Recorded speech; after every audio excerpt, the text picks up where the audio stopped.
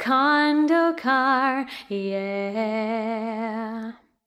One happy birthday dot com.